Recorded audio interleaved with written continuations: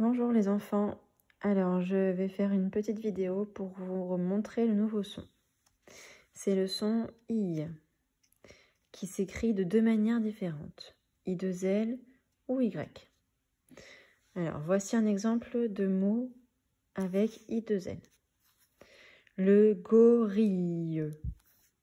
Et un exemple de mot avec le Y, le kayak. Ce qu'on voit ici, le kayak. Alors, si on regarde encore l'image de Taoki, on peut voir d'autres mots en i. Coquillage, qui s'écrit aussi avec i 2 l. Papillon, qui s'écrit encore avec i 2 l. Et un exemple avec le y, les yeux, yeux.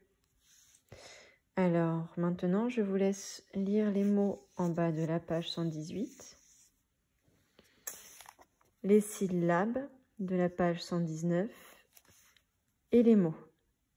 Vous pourrez lire les phrases et l'histoire vendredi. Bonne journée